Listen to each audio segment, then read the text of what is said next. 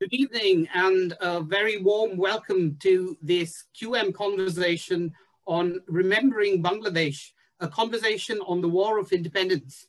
I'm Dr. Ashvin Devasundaram, Senior Lecturer in World Cinema here at Queen Mary University. So this year marks the 50th anniversary of Bangladesh's War of Independence. And the raison d'etre of this event is to commemorate this momentous milestone. This is also the auspicious occasion of the Bengali New Year, Pohela Boishak. So Shubho Nobobarsho, Happy New Year to you all. We have a stellar and eminent panel of speakers this evening, including Asma Khan, chef and owner of Darjeeling Express restaurant and the star of Netflix's Emmy-nominated Chef's Table, Asma will discuss how food can keep memories alive. Uh, Dr. Clelia Clini, research associate with the Migrant Memory and Postcolonial Imagination Research Project at Loughborough University, who will speak about the ways in which memories of the war circulate within migrant communities. Showmi Das, a Kathak dancer, who will share with us a specially commissioned work in response to the anniversary, and Dr. Shahidul Alam, named one of Time Magazine's Persons of the Year in 2018, and whose photography has captured major events in contemporary Bangladeshi history. We'd like to keep this conversation as interactive with the audience as possible. So please do add any questions by clicking on the Q&A button at the bottom of the screen at any point during the conversation. So in terms of commemorating the 50th anniversary of Bangladesh's independence, the objective is to have an energizing and dynamic discussion on how arts and cultural practice can help us remember. Our specific focus relates to how eclectic practices of cookery, film, dance, and photography in particular can kindle memories of independence movements and keep them alive. How arts and culture can serve as an interpretive bridge across the past, the present, and future to enable us to contextualize and contemporize these important memories. The 1971 Liberation War was a monumental moment in the realization of a long-standing dream of an independent Bangladesh. It was a time of trauma, separation, grief, and anxiety, but also a moment of hope, dreams, and aspirations, and the irrepressible optimism that accompanies the creation of a new nation. Bangladesh is a vibrant tapestry of history, culture, and society that has its own nuances, textures, and particularities. But it's important to highlight the intertwining of Bangladesh's evolutionary story with that of its regional neighbors, India and Pakistan. And therefore, the saga of Bangladesh's liberation is also a South Asian story, intersecting with rupturing events such as the partition and going back to British colonialism and empire. In stepping back and gazing 50 years down the line at multiple threads in the tapestry of Bangladesh's evolution, memory is a pivotal factor in reimagination, reimagining the nation. So alongside uh, political and social struggles, arts and culture are indispensable elements in conjuring memories and perspectives and viewpoints on themes of freedom and independence. So in the fraught times we live in, it's also really important to ask critical questions about the safeguarding and the sustaining of hard-won freedoms and civil liberties, freedoms to express dissenting views and speak truth to echelons of power, to challenge religious and political fundamentalism, intolerance, discrimination, and to promote social justice and equality. So to unpack these diverse themes I'd now like to welcome our panelists and start with Asma Khan. So welcome, Asma. Um, Bangla cuisine is invariably kind of clubbed with or subsumed by the overarching category of Indian food. But Bangla food has its own unique uh, identity, its own layers, textures, and regional specificities. So a visit to Whitechapel will uncover the aromas of Shatkora curries and singaras and so on. And I can attest to hidden gems such as the biryani house, whose lamb curry is beyond sublime. So can you unpack for us what culinary uniqueness and food specificity means to the idea of freedom and forging a distinctive Bangla and British Bangla cultural identity? So any thoughts on that would be brilliant. It's, I, I feel very humbled to be uh, in, on the panel with such eminent people who are so qualified to talk about uh, something as significant as uh, Bangladesh's uh, liberation. I am, I come from a bloodline which has been partitioned too many times. I was obviously not there when my family was partitioned in 47, but I remember the broken hearts and, and the trauma. I was very young when the family decided to partition itself in 71. So I come from my family's, my grandfather's from Jalpaiguri, but my one part of my family comes from Faridpur, originally from Baghdad. Uh, in fact, it's very interesting because my ancestor came to teach Jahangir uh, at the court uh, how to, to write Persian uh, and decided then, you know, their ancestors settled down in Faridpur. And I am Bengali in so many different shades. And then people ask me about the food and I stop because First, I need to separate what people often don't know if you have not been to Calcutta and you haven't eaten in Old Dhaka. And is that there is no Bengali food in some kind of unique, generic way that people think that there is an Indian food. There is a, you know, there's a West Bengali, East Bengali, but there's also a Mughlai Bengali food. The rezala and the kormas, the biryani, and then you look at, you know, the chapli kebab, the bakhar khani uh, in Dhaka, you know, it is very, very layered. Bengal is fascinating because we were like a sponge. We've had so many influences, you know, from the paneer, our, our desserts, all the different, it's the footprints of all the people who passed by our land and left these imprints on our, our, our soil, but also on our food. But there are things that are very painful, which I recently, you know, wrote something on, which is the use of poppy seeds. And I remember my mother always telling me, I'll never use poppy seeds in my chicken chop. She said it is, you know, it came from the blood of farmers. It was this thing. And when I was very young, I used to think, you know, what a silly thing, what a pretty thing, little, little white things. But in Bengal, we have a complex story, you know, of why poppy seed was used. You know, this oppression, the kind of subjugation of the farmers that led to, you know, starvation and Bengali housewives finding this waste product in some ways to cook food. It is complex. And, you know, and then again, you know, when I look back and I think, in some ways, we are the richest nation. And I say that in Bengal is the food capital of the subcontinent. There is no place where you will get an entire opportunity in a short walk down Old Dhaka or Calcutta where you can actually taste history. You taste the layers of history that make Bengal. And it is a huge, actually, the greatest benefit. I was born there because I cook, you know, I cook Bengali food. I serve niramish.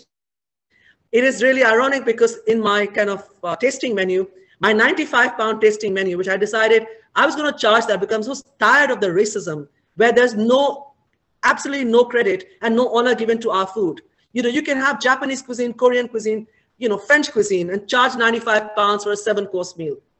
No one serving Bengali food would do that. And I did it in Covent Garden in this place. And I did, of course, you know, have chicken chop and I had biryani, you know, and then I had, you know, luchi aloo And everybody who left, I asked them, what was your best dish? They said the luchi aloo and this is the thing that, you know, Bengal has the nuance, the lightness of flavors and spices of Bengal. You will never forget. There is no cuisine like this. It is a subtlety that flows through the food, you know, a bit like the rivers of Bengal. This is what we're famous for. And I think that, you know, we have not presented our cuisine in the best way. We have not had people talking about Bengali food and not making the distinctions. I don't see myself different from a West Bengali, East Bengali, whether I'm Muslim or what my heritage is. I see myself as generically a Bengali when it comes to food. And but I still want to talk about the differences. And it is complicated. I mean, I'm going to be very sure because I know lots of people are here and they have far more interesting things to say. But it is also complicated in this country by the fact that initially, when they came in in the 60s, Sylhetis masked their ethnicity. They masked the origin of where they were coming from. They produced a cuisine that doesn't really exist. They recreated what they thought was Indian cuisine. And I never criticize them for that. I know a lot of Indian chefs like to. They came into a country with racism. Absolutely, they could not get any money. No one wanted to rent a house to someone who looked like them. They are giants. They set up a business. They created a way of creating wealth for their entire family. I don't look down on the curry houses. I do salam when I pass one, and I do because I am standing on their shoulders. I am in Netflix because of the curry houses. The Bangladeshis who came in, who built the curry houses, they changed the palette of a nation. And they are never credited. I am very upset when I hear people talking about the inferior quality of food, the fake food. Why don't you talk about the racism they face, the fact that they built an empire of restaurants, and the next generation of people who've actually come on, the Bangladeshi community, have gone on to become professionals. It was the, they were fueled by the food. However inaccurate, accurate, I won't judge that. I'm just proud of the fact that food was used to create a community and bring them forward. Thank you very much. Thanks very much for that textured insight into uh, Bengali cuisine. I, I, have another question, Asma, if you don't mind. Your restaurant, uh, Darjeeling Express, is named after an Indian train which you associate with fond childhood memories. So could yes. you tell us a bit more about your own memories of food and the culinary arts and what this means to you in terms of independence? The thing is, for us, independence is, is also, I, it is very sad, but in my family, independence and partition of families is joined. So yes, it is independence and liberation for others, but it was for us partition. In my grandfather's house, seven brothers stood together in one line, and their father said, four will stay in India and three will go to the newly created Bangladesh. And they had to step forward, those that were leaving. That night, three brothers left. This is how my family got partitioned. They partitioned the families this way. My father's in, a, in, a, in from Aligarh. One brother got up and said, I'm going to Pakistan. There's an empty chair in my house, which no one sits on because that was his chair. And no one will sit on it. Every wedding, that chair is there. So it is painful. And I think that, you know, food has, you know, and my, my mother-in-law was telling me that, you know, she can never eat duck and rice together, you know, duck egg and rice, because that's all she got to eat in Chittagong. They had a pond. She boiled the water in the 71 war. She was, she boiled the water from the pond. They got the eggs from the duck. Then the Pakistani army would keep coming and raiding and taking away all their food. They would hide the eggs and they would hide the rice. After 70, she says, I can never eat that combination again. She says, because it is almost sacred. She says, that feeling that I had, I was so grateful to God that we had this food, that I can't create now that I have so much food. I will never make it again.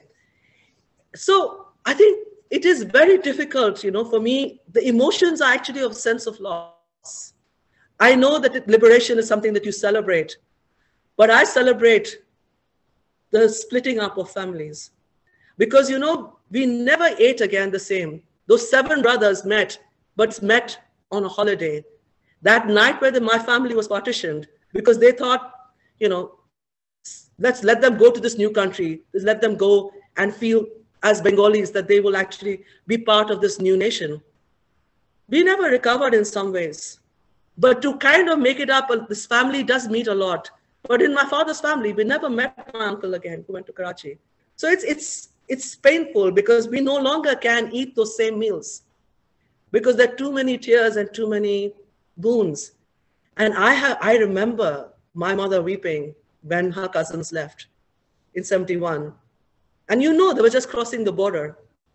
But a lot of food was never remade again. The favorite food of those sons who left was never cooked again. This is something that you don't hear a lot of people talking about. But I'm a family that has been partitioned so many times.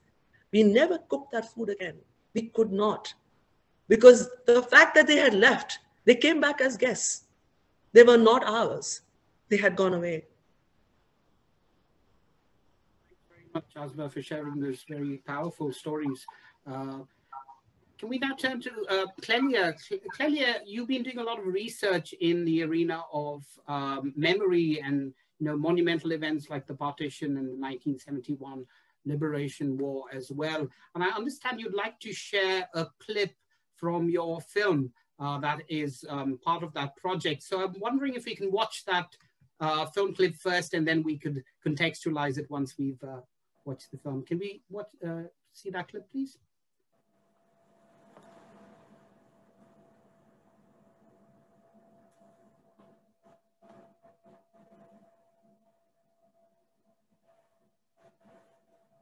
There's no sound? I don't think we have audio on the clip.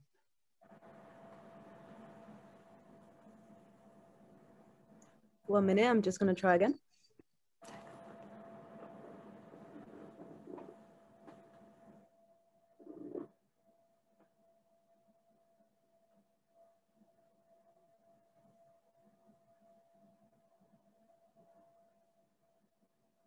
I was born in Bangladesh um, just, after, just before the War of Independence. So I was actually registered. My birth, you know, like, we now have the, the, this really interesting story about my birth certificate. So my birth certificate, the serial number is 000000 something like 50. So I was like the 50th child to be registered in the new state of Bangladesh. Yeah, when they when Bangladesh government formed in 1971. So um, I was registered. I was born in 1970. Um, I grew up in a tiny little village just on the outskirts of Sylhet, which is in the northeast of Bangladesh. Um, and I stayed there till I was five years old. My dad, he was in, um, he came here in 1962. Then that time was Pakistan. Then when they, my dad and my uncle and all the stuff, then my dad always said, when they liberation, like the, the freedom fight start, they used to work here and they used to hand over the half of the wage to the Liberation Fund. Well, my father, he talked about the Liberation War. He said around the Liberation War, he was actually a student. So he was very passionate about, about Bangladesh being the only country fighting for its language. So he, you know, my father can really speak very, is very well spoken in Bengali. He's a freedom fighter. So he would go, he'd take us to Bangladesh every year. And when every time we went, he, the way he was respected, they'd have all these honor, you know, special days where he'd go and he'd speak about his journey and stuff like that. And he did talk to us about when we were young. He'd tell us little stories, not too much because we were too little to understand it all back then. But I really appreciate it now, learning more as I've grown up to know that you know he fought for the language for its independence he was actually he told us stories about how he got shot and how the bullet missed his leg how he traveled to india to train up so he can fight to support, you know, Bangladesh and get independence? My father didn't talk about Bangladesh that much because he travelled quite a lot throughout the 60s and, and the 70s. But my mother talked a lot about Bangladesh and she talked a lot about the um, 1971 liberation because her, her brother was killed, um, I think he was in the army and he was killed uh, during that movement. Um, she also told us about how the army had come into her area and her village and during that time it was quite difficult for them and she said literally the rags that they used to um, clean the floor with they would wear those rags so they they could give the impression that they were really poor and you know so they wouldn't be attacked by these uh, soldiers from West Pakistan. We'd gone back for a family holiday to Bangladesh. It was the last big holiday to Bangladesh before I started school. So my parents were very aware that they might not be able to go back as often. One morning I woke up and um, my parents were sort of bundling a lot of our clothes and possessions into uh, bedspreads and the bed covers And I was like, what's happening? What's happening? And they were going, uh, we, we've got to leave. Uh, Pakistan's invading. Because even though Bangladesh was East Pakistan, and at the time we were uh, classified as Pakistanis, um, my parents would always call it Bangladesh. Desh. Um, so they were saying, you know, the Pakistani army's coming, it's, it's uh, invading Bangladesh. I didn't really understand. I, I, I got the idea that we had to run away from bad people. So they, they packed a lot of our stuff, our clothes and everything, in two big bundles. Um, and I was going, can I take these books we've bought? And they're going, choose one book, choose one book. So I chose one book, I think maybe two, and they got packed into the bundle. And then we started to leave my grandfather's house. And instead of going out the front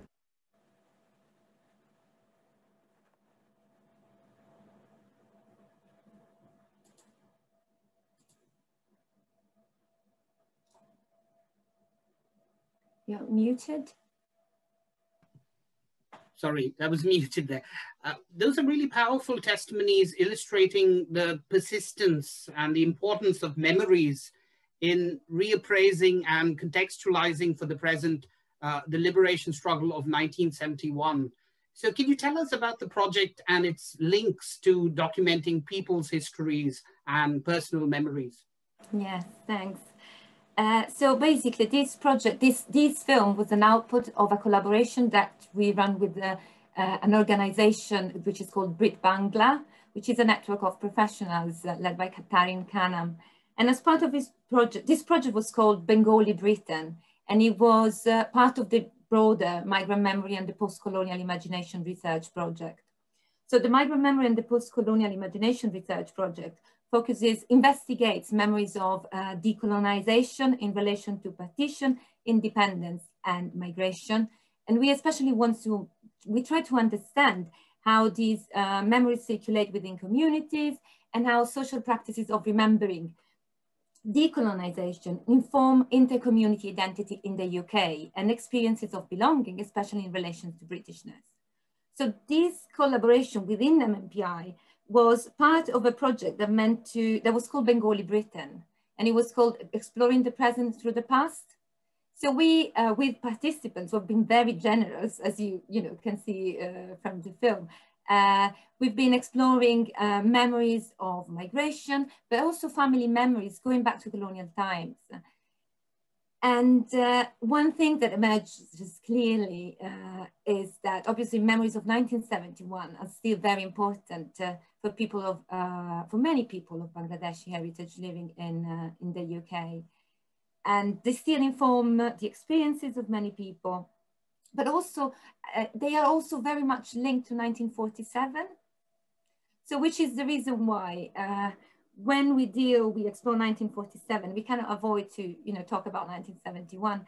And uh, because we use the different creative activities, uh, we do cookery classes, photography, obviously not at the level of, you know, Asma or Shahidul, but we do use these creative activities to, to start to discuss memories or to engage people in conversation. And these specific films was made, uh, was a plus that we decided to do on top of the photography exhibition. And uh, I'm very grateful for the generosity of participants who share their memories with us. As you say, the testimonies really underpin the strong connection that British Bangla communities have uh, to the liberation struggle through uh, intergenerational stories and memories.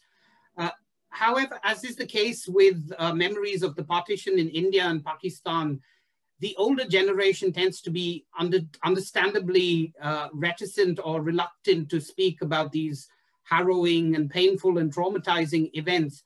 So I just wondered what the experience was for the contributors, the respondents. Was it cathartic on some level, but also kind of revisiting some of these painful memories?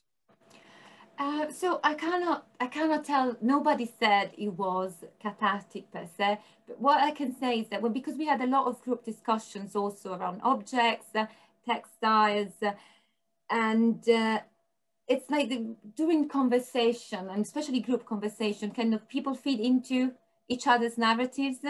And so they help each other remember or talk about specific uh, um, events. when it comes to the Liberation War of 1971, which is indeed a difficult, you know, it could be very difficult to remember, obviously. So we have had on certain occasions people who were kind of reticent, maybe not that willing to discuss them. Some other people, as I said, they use the word generosity because they really shared with us. And, and, um, and I found that for some people at a certain level, it seemed like it was kind of taken for granted that the family had been fighting in the war or had been involved somehow. And so they wouldn't even tell at first. So when we started conversations around partition colonialism, 1971, they would say, oh, you know, some people, in some occasions, I don't know, no, I don't really have, any family memory. And then maybe we're talking about a sari or we're talking about something else and people would start discussing it. I don't know if I answered your question, did I?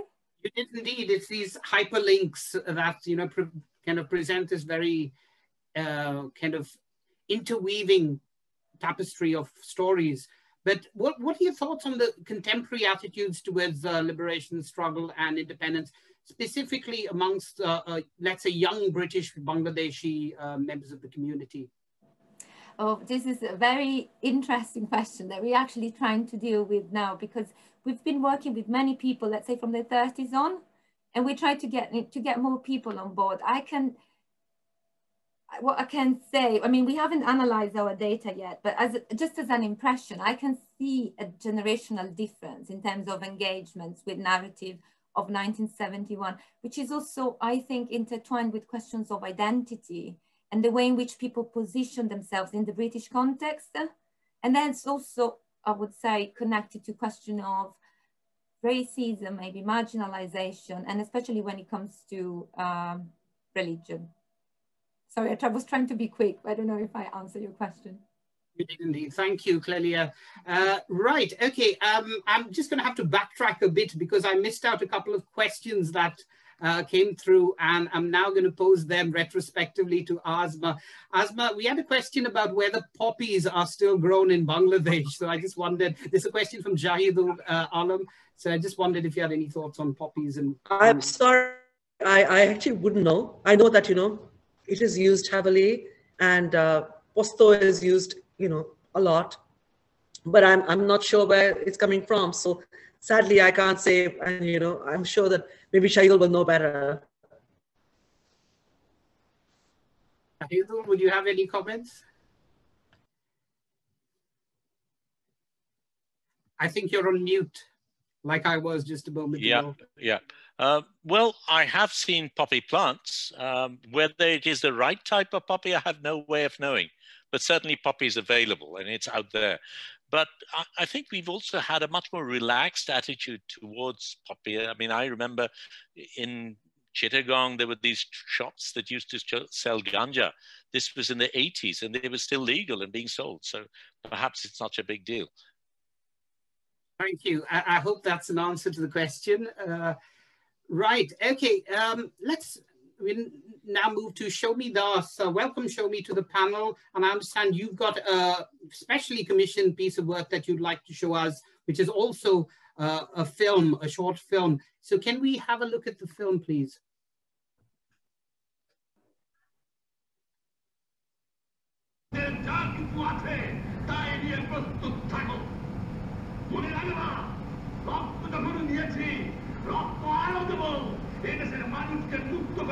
ইনশাল্লাহ এবারে সংগ্রাম আমাদের মুক্তির সংগ্রাম। এবারে সংগ্রাম স্বাধীনতার সংগ্রাম।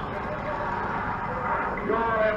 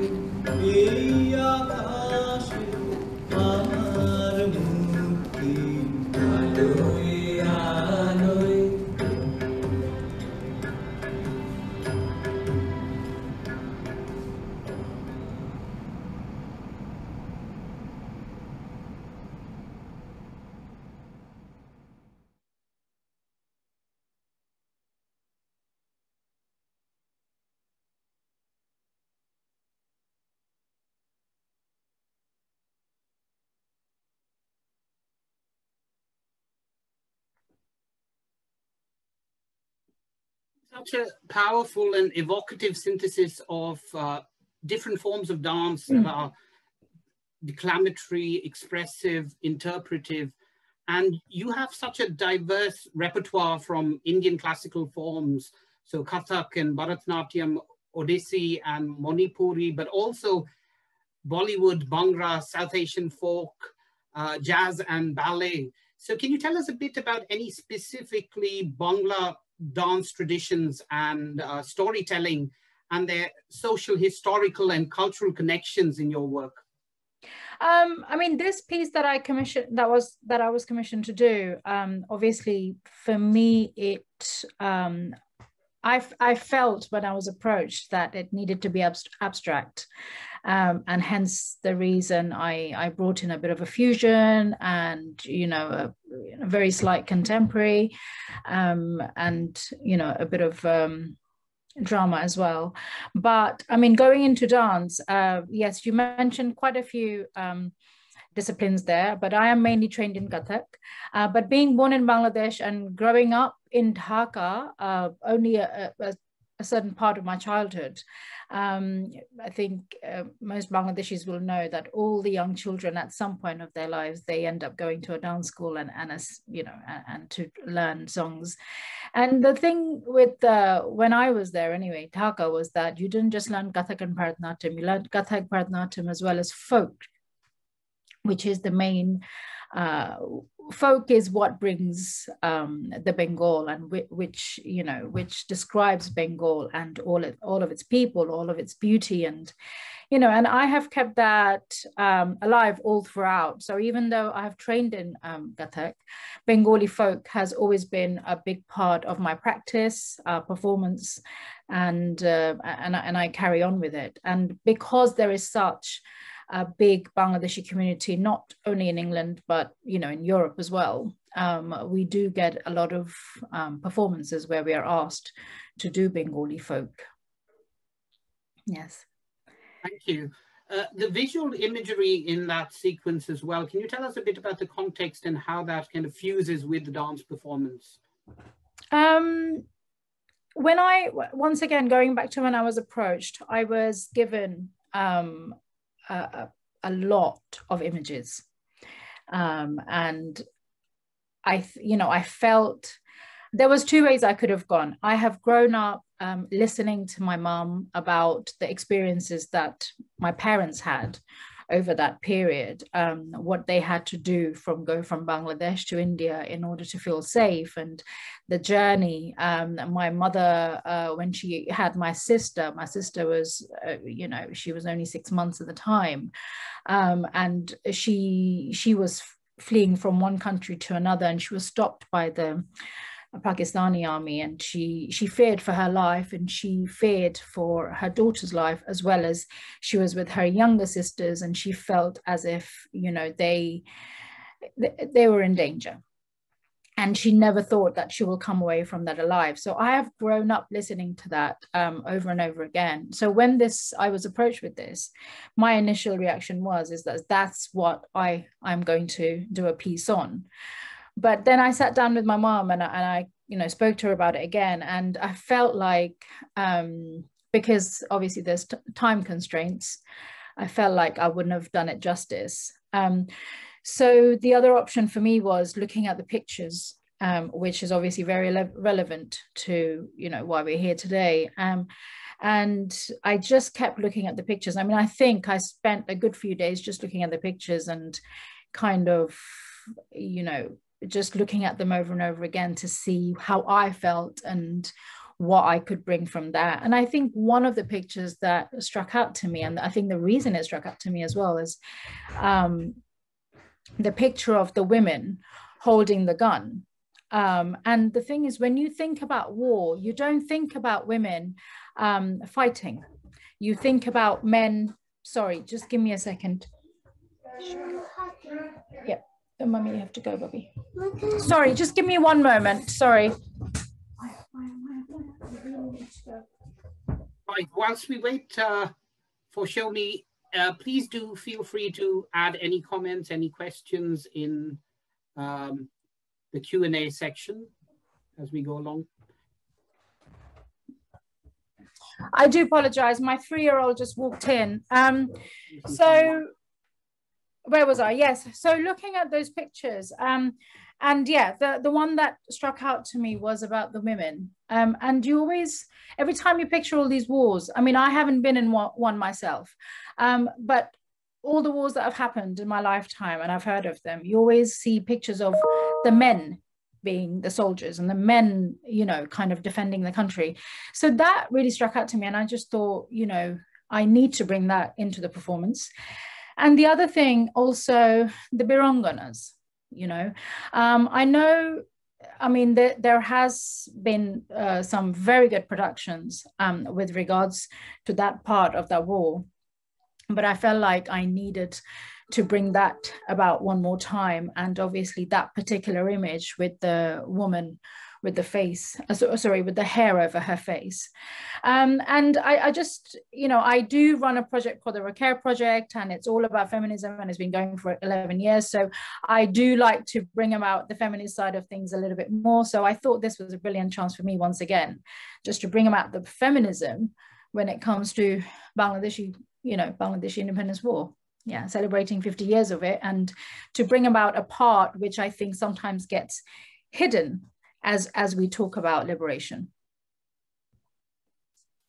Thanks, Showmi. I hope we can return to some of these points uh, of discussion when we kind of have a kind of expand this conversation uh, once we've heard from Dr. Shahidul Alam, who needs no introduction.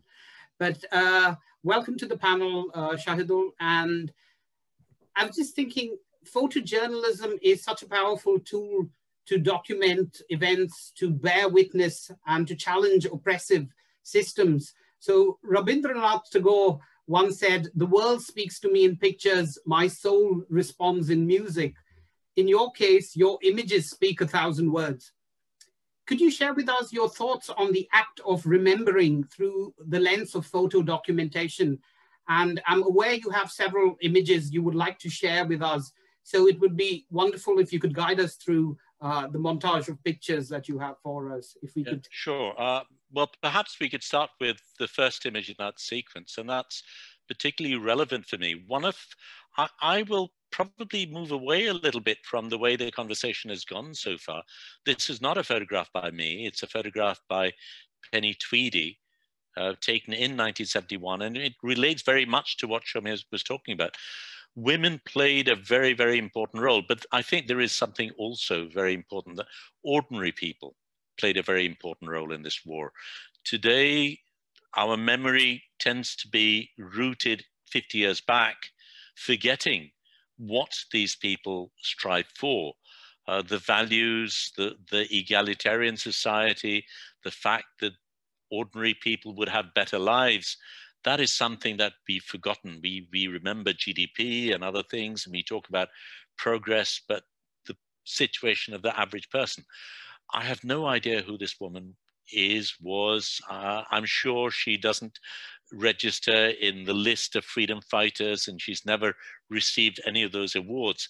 But it was people like her who really gave us this independent nation. And I, I'd like to rem remind ourselves of that. Let's go on to the next picture. That's taken by Rashid Talukdar. I was not a photographer at that time, but what I started doing was to collect images of 1971 because um, really it was photographed by the greats of photography. Uh, the, pretty much the who's who of photojournalism was in Bangladesh in 1971. They photographed it, yet it was never compiled into a book or an exhibit or something like that. So many years later, I started doing that. And one image that for me is very central to that collection is this one by Rashid Talukdar, because uh, as Showmi mentioned, you know, there were the Biranganas, but also before the Pakistanis left, they slaughtered the intellectuals of my country. And this was the killing fields of Rai Bazaar, where uh, Rashid Bhai took this photograph on the 17th of December, but the killings actually took place on the 14th. Uh, I show these pictures to, to set the context, but I want to move away from 71 itself because I think our memory should not be trapped in that in that moment. I think our memory about Bangladesh over 50 years should go across 50 years and look at how the nation has unfolded. And that's what I would like to do. For me, it was very important. I mean, I, on my, my sister's first child was born on the night of the 24th of March. Uh, and they were in a clinic. We tried to get them out. We couldn't. Uh, but that night, I, I, remember hearing the screams. I see that saw the fire. I and I've seen the deaths. Uh, and it is important to remember that these people could not have died for nothing. There was a cause that they were fighting for, and that's what I'd like to relate to. So let's go to the next picture, please. And I'll quickly go through a series of images. I, I left Bangladesh in 72. I came back in 84. And then one of the early pictures I took was this one, which is of the migrant workers of Bangladesh. And I think it is worth remembering that while we talk about the development that this nation has made, the wealth of our nation really depends upon three groups of people. Uh, the migrant workers, the garment workers, and the farmers in the field. They're the people who really generate the, the wealth of my country. And in and we very rarely remember them uh, in either the awards or the discussions, and we rarely give them the value that they deserve. Let's move on. Next picture, please. I'm just going to quickly skim through some of these pictures to take you through. So this is later. This is, no, the last one, we just skipped that one. Uh, the last picture with the shadows, that's Motijheel. Not this picture, the previous one. Yeah. Uh, so this is Motijheel on the 10th of November, 1987. If you've gone too far back, can we have picture number two, please? Uh, it's a picture of Motijheel, uh, which is the Champs-Élysées of Dhaka. This is on the 10th of November, 1987. Uh, as I said, I, I, left an independent country. I came back to find it was in the hands of a military general. Uh, that was never the plan, obviously. Uh, but there we were. And then the opposition actually got together. Uh, for the first time, they all got together and there was this siege of Dhaka city. This was the day at roughly where I'm standing when I'm taking the picture, where Nur Hussain, a young man uh, who had painted on his back, let democracy be freed, was killed that day.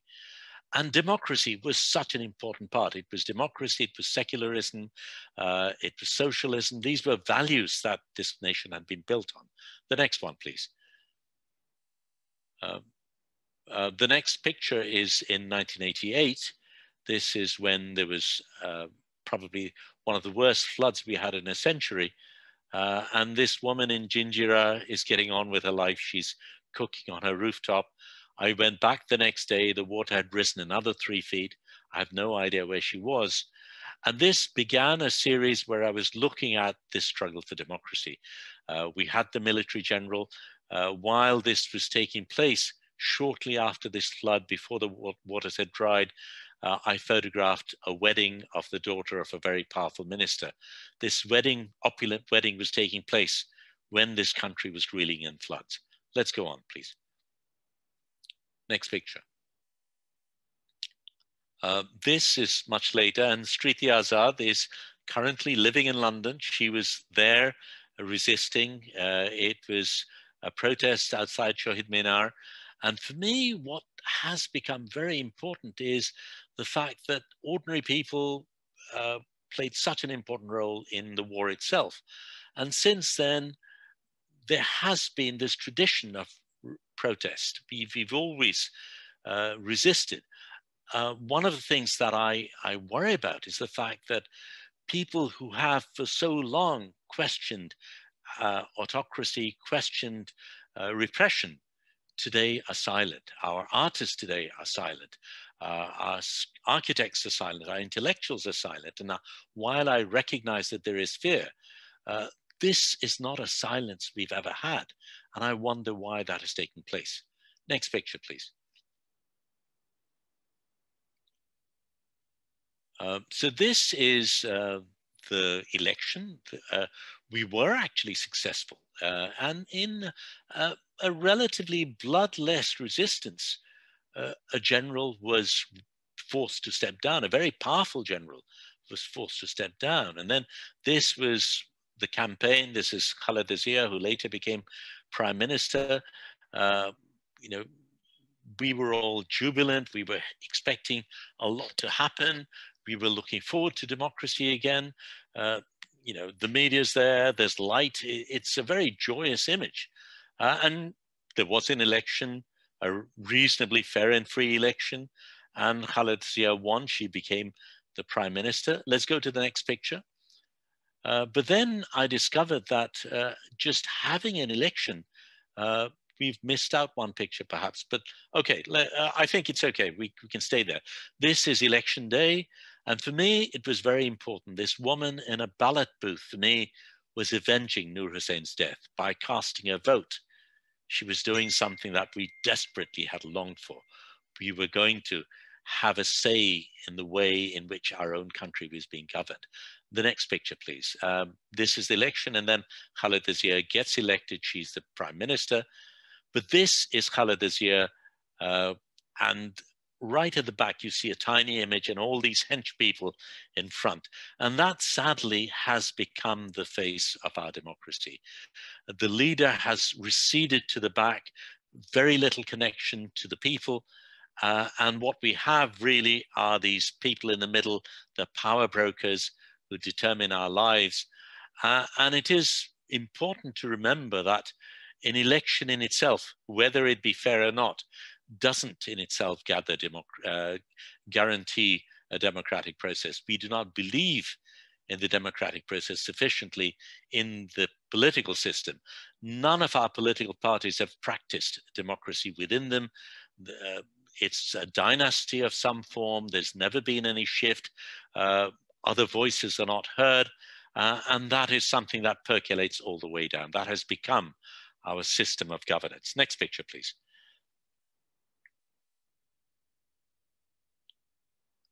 So this is uh, the cyclone in 1991. Um, this was in Anwara, this little girl, uh, her home had gone, her family had gone. For me, what was very special was while I worried about what would happen to her, I soon discovered, her name was Sophia, I soon discovered that another family had taken her on, another family just as destitute, just as wanting, found a home for this little girl. And while we talk about development, we talk of what governments do, what NGOs do, we forget what our ordinary people do. I think the generosity of the Bangladeshi poor is something that is not uh, celebrated. And that is, I believe, what has kept this nation alive. And that is the strength of our uh, community in our country. Next picture, please.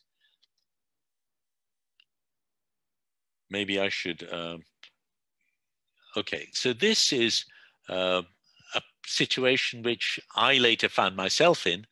This is uh, a student in a prison van. Uh, our students, uh, student politics is very energetic, and students played a very important role. But what invariably happens is that the ruling party takes over the university, and what are seen as opposition students are either put in jail or tortured or beaten up and you know they they have no space. You know it's it's physically occupation. Any ruling party takes over the campus and that's how things have been. This was a, a student in Jagannath Hall screaming out this was during the BNP rule and it Jagannath Hall was seen to be an army supporting uh, hall uh, and these students were being taken to jail and this is a young man screaming out for his ID card because he needs it when he uh, when he's going to be questioned. Next picture, please. I'm going to go quickly through these pictures because we don't have that much time. Uh, this is uh, a different situation. This is the Chittagong Hill Tracts, uh, which is under military occupation in Bangladesh. This too is one of the taboos today. You, you can say certain things, but you cannot critique the prime minister. You cannot critique the military. Uh, the media knows the rules. Uh, and this is the idyllic picture of the Chittagong Hill Tract that is presented. Yet a nation that has fought for the right to speak its own language denies its own indigenous people the right to speak theirs. And Mujib, of course, very famous, you become Bengalis. You cannot change your ethnicity. Uh, but that was what was demanded. And of course, irrespective of what government it was, the indigenous people of the Chittagong Hill Tracts have been persecuted and uh, the CHT is still under military occupation. Uh, next picture, please.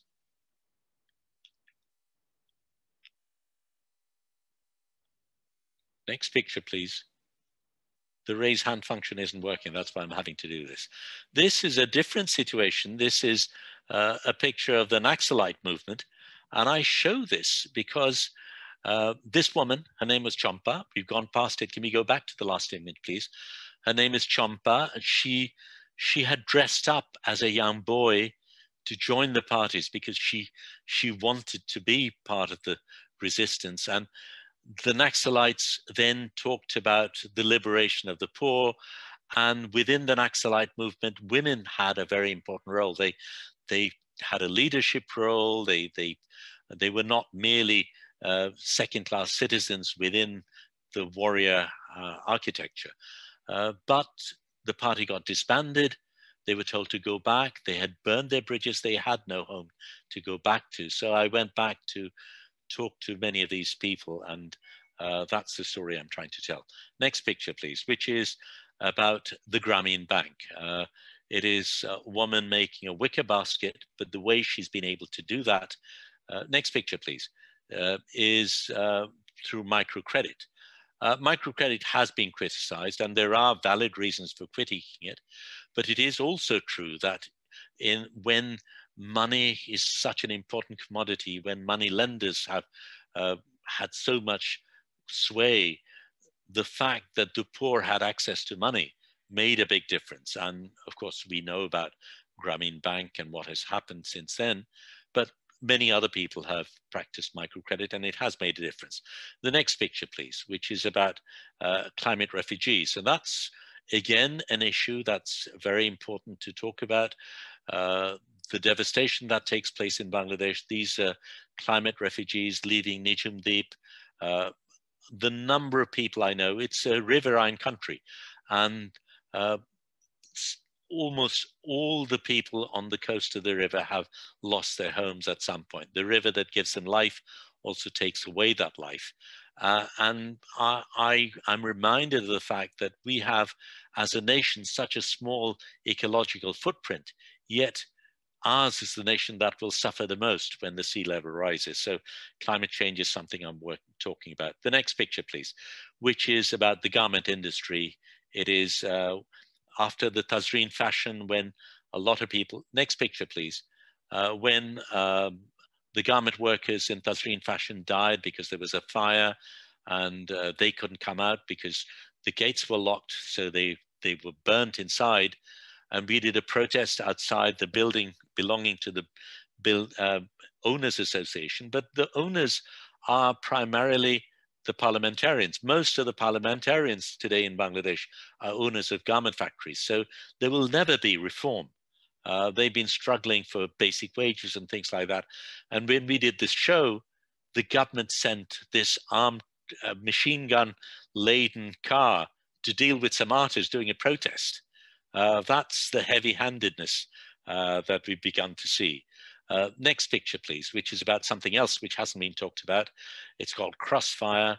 It's an exhibit that I did looking at extrajudicial killings, which has now become so rampant within Bangladesh. And this is an exhibit that I did looking at uh, extrajudicial killings, trying to talk about this story um, uh, more conceptually. Uh, this is the single image within that which refers to a body. Uh, but of course, uh, the current government was very critical of Crossfire when it was in opposition, but it, once it came into power, decided it was quite a handy thing to have. And the recent crossfires have gone up to an enormous level. Next image, please. Uh, this is of a resistance in Shahbag, the picture coming up. Uh, and this is uh, when the bloggers were being killed and there were protests. And we thought this would be a time when the people would come together this would be uh, another change after 91 but didn't happen because the government was able to manage it. They were able to infiltrate this group uh, and able to diffuse this thing, which they have done very, very cleverly, actually. They've gone through a process of divide and rule and uh, the surveillance that goes on in Bangladesh is so extreme, it's very difficult to put together movements today. The next image, please. We then had a small, a short period of uh, civilian military rule, the caretaker government, as we call it, which was effectively a military government. And sad to say, uh, the international community uh, was very okay with this. They knew it was a military rule government, but they uh, supported it uh, and nurtured it. Uh, and this indigenous person, uh, Pratap Jambil, was one of the many people who were tortured by the military at that time. I'm now doing a story on uh, survivors of torture. I'll come back to this. Let's move on. Another very important story to be talked about, the Rohingya, which I'm coming on to next. Uh, what, we look at the Rohingya situation, but we forget that uh, it has been there for a very, very long time, from the 17th onwards. And the government, which now has thankfully been welcoming to the Rohingya community, was not always doing that. And these are Rohingyas fleeing the country um, and I was on them with them on the boat. But I'll move on because we're running short of time uh, to the road safety movement, which was in August 2018. Uh, and that was when the students came together. They were protesting against uh, the killings of two students. But I don't believe it was simply the killing of two students. It was uh, there was a pent up anger about all that was going on, all that was wrong in Bangladesh. And these students came together. And of course, the government uh, virulently attacked these students. Uh, I was taking pictures, I was doing live feeds, I gave an interview. Uh, on the 4th of August, I was attacked, my equipment was smashed, I continued live reporting, and on the 5th of August, I gave an interview to Al Jazeera. That night, they came to my flat, took me away. Uh, I was tortured that night, and I spent over 107 days. Uh, my bail was refused five times. Uh, but because of a massive campaign globally and within Bangladesh. And people in Bangladesh were taking bigger risks. I'm out on bail now, but the case still hangs over me. And I potentially face 14 years in prison. We'll go on to the next image because despite all this, people are protesting. And the Digital Security Act, which wasn't there at this time but came on, the next picture, please, uh, became, uh, has become such uh, a weapon that the government has been using um, to round up opposition activists. Uh, dissent of any form is suppressed. People are in, in jail and killed. And of course, Mushtaq, the writer, was killed recently. Well, he died in jail. They don't admit having killed him. Kishore, the cartoonist, uh, reports uh, says he was tortured, and there is evidence to say that he was tortured. But that is what's happening to Bangladesh today. So while 71 was this glorious period in our history, we've actually descended from that to a police state effectively. Uh, and that's where we are right now. Let's move on to the next picture. The women continue to play a very important role in the resistance. And while established artists have been quiet, while intellectuals and writers have been quiet, the women of Bangladesh have continued to protest, and particularly so when it's been uh, issues of rape. We talked about Birangona, the fact that women are being raped by largely by ruling party uh, today. Uh, there was a woman who was gang raped because she voted the wrong way. so this is what Bangladeshis are protesting against today. And I'll end with one image going back to the garment workers, where the next picture, please, where the garment uh, workers are being protesting outside the press club. And you look at the police out there. These are garment workers who want compensation. These are injured garment workers who, who uh, who were in Tazreen fashion, who still haven't got compens- uh, the valid compensation for their losses. So you have essentially police, armed police, surrounding uh, unarmed garment workers. These are armed police who uh, shoot uh, at the moment. That is what's been happening when Modi came recently. Uh, 21 people were killed in the streets of Dhaka. Uh, now, I, I recognize that India played a very important role during liberation, but today, India plays a very, very different role. It is uh, big brother and it determines what happens in Bangladesh. And the Bangladesh government is today beholden to Indian policy.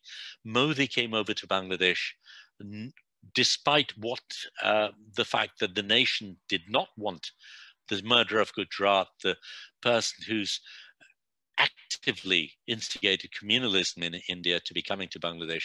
He came because it was a publicity stunt he needed to win his own elections in West Bengal.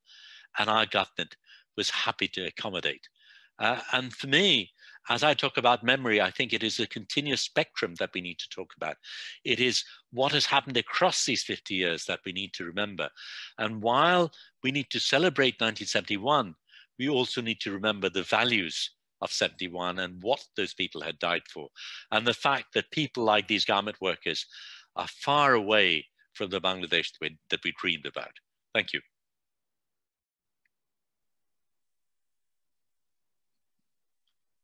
Thank you very much for sharing that discursive spectrum of images and for contextualizing them for us. Uh, resonating with what you've said, We've seen the disconcerting rise of authoritarianism and demagoguery around the world, but particularly in South Asia and in India, there's been a clampdown on freedom of speech and expression, repression of students, the ongoing farmer protests, and the muzzling of journalists, activists, and rationalists. So in 1971, journalists played a preeminent role in kind of revealing to the world the genocide taking place on the ground in the erstwhile East Pakistan, soon to become Bangladesh.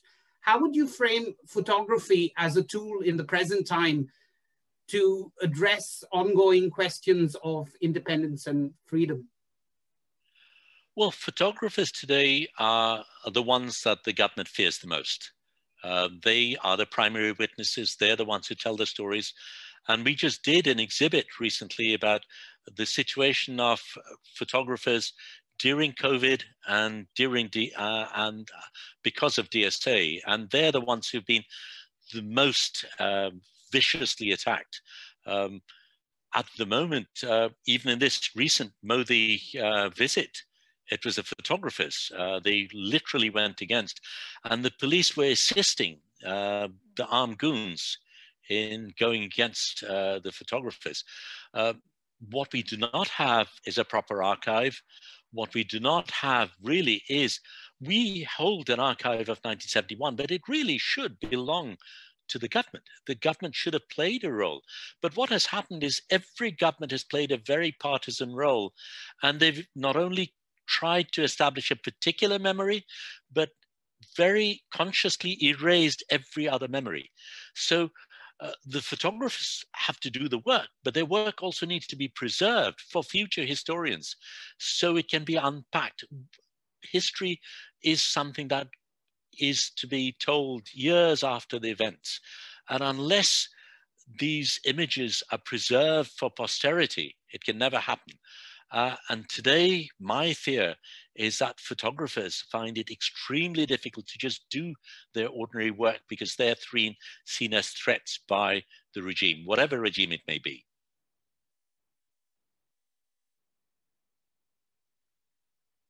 You're muted. Sorry.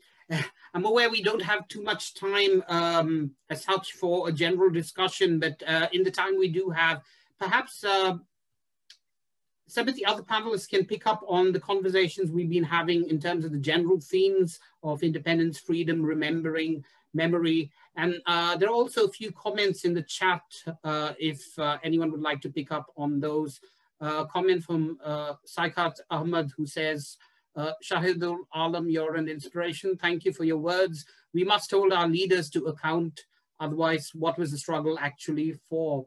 Which I think is quite an important point about the ongoing nature of struggles, not just in uh, Bangladesh, but uh, as we've seen, and as you mentioned, with the rise of Modi and Hindutva in India, I think these are very clear and present questions that need to be confronted. Um, any, any other comments from uh, panelists? And please do have a look at the chat and pick up on uh, any specific comments that you think. Um... I just wanted to add, I think, um, you know, um, you're absolutely right when you talk about that we should really focus on the 50 years after, you know, uh, since independence. Um, and of course, you know, we do owe a lot for for those that have given us our independence. But um, for me, it's been fascinating to learn about um, how how you mentioned the the Biranganas are still there. I mean, there's there are still Biranganas today, um, and obviously there are women uh, that play a very big part. So I think uh, you've actually inspired me to look a little bit more into um, the the happenings of today um, rather than the happenings of you know what I have concentrated on for for I don't know Begum Rokeya or if for this piece of work for 71 so I will definitely be I think looking to do work on um, what's um, the the you know bringing about the feminism in Bangladesh today rather than so many years ago thank you thanks Showmi I think we have a question from Ruxana um, hi, yes, hello everybody. Thank you so much. It's been really, really fascinating listening to everybody and Showmi. Thank you for your piece. I've got a question for Asma actually, in terms of some of the work that you do with women, in terms of empowering women, and then also going over to Iraq to work with the Yazidi. How did that come about, and what's the legacy of that project? Do you hope will happen?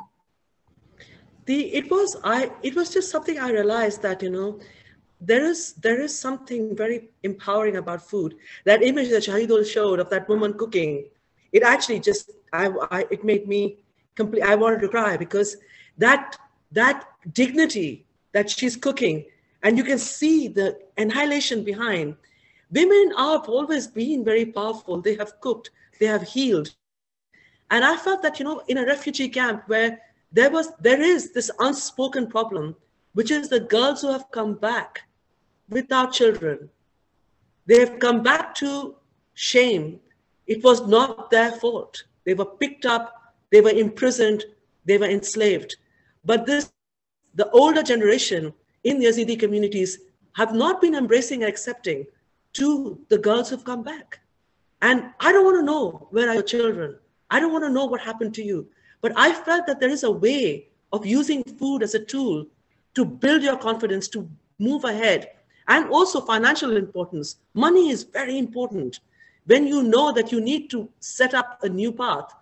And, you know, it was a crazy idea to go into Iraq and set up a, a cafe, but it all worked out and it is still going on. And, you know, right now, of course, there's a lot of problem with COVID, so they shut it down, but they will reopen. And I think that it is very, very important. You know, food is healing. Food is also about community and spirit and about the role of women. I always say this, and you know, Shahidul's piece has really reminded me again about why I always talk about why women are always behind walls. In every home you go to, you see a woman cooking. In every kitchen, a professional kitchen, it is a man cooking.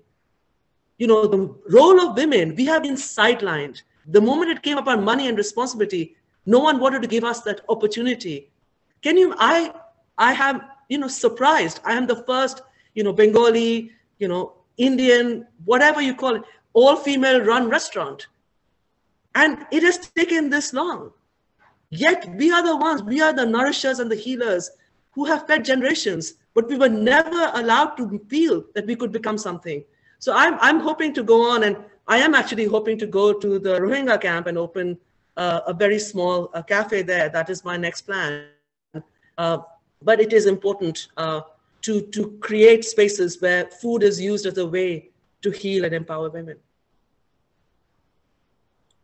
Um, can I respond to? I know I've taken up a lot of time, but there is an important question by Sudeep Chakraborty, which I'd like to take up. Can I do that? Of course, go ahead. Yeah. He says, I see the rise of sectarian groups move are completely ignored in Shahidul's presentation, and also the continuous violence on the religious minority are, uh, are also ignored. Why?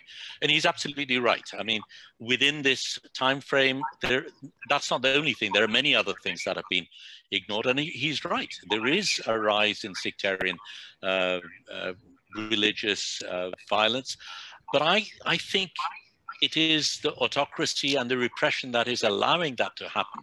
Bangladesh has never been uh, sectarian. We've, we've always been very secular as a group, but there have been attacks against minorities and it's been instigated in many situations by the ruling elite. And we have, um, I mean, I don't have time now, but we've actually published a book on those attacks. Uh, and that too is something that is not sufficiently happening. So thank you for bringing up that point. It's a very important one, but um, only so much could have been addressed within a presentation. Thank you. Um, we have another pertinent question, I think. In the UK, what notable cultural memorials or work exists in relation to commemorating the war, I suppose? So um, does anyone have any thoughts on cultural memorialization here in the UK? Uh, I mean, I can, uh, at the risk of speaking too much, if no one else wants to speak, I'll speak, but I, will let others speak first. I'm wondering if Clelia might have any thoughts uh, on this game. Uh, oh yeah, sorry, just if I was amazing. I just wanted to say that uh, I think apart from the Shahid Minar, I cannot really think of as you know uh, um, uh, a monument, but I know there are several cultural events that are being organized, uh, not only this year, but around, but maybe Shahid knows more than me, I don't know. Well, there is the Bangladesh Festival. The Bangladesh Festival takes place on a regular basis uh, uh, and has been very effective. It started off, I think, in short, uh, what, Spitalfields and around there, around the Tower Hamlets. Uh, I mean, Ruxana is involved in the Nazrul Center, which does a lot of things. We've actually donated an exhibit which we had at the Autograph uh, Gallery in Rivington Place on 1971, and the entire exhibit has been lent to the Bangladesh High Commission. So within the Bangladesh High Commission, you actually have a lot of images from there, but I, I do feel a lot more needs to be done. Right, and so I've just received a little note that says, I'm afraid we're out of time. Uh, and all that's left for me to do is thank all of our panelists for some really inspiring presentations and perspectives. Thank you, uh, the audience, for attending and for uh, your own questions and comments. Uh, many thanks. I'm just going to end with a comment that was in the chat, but I think it's quite apt. It's a quote uh, by Augusto Boal, and it says, the past recreated in the present will transform the future. So on that note, have a good evening. Take care. Thank you, everyone.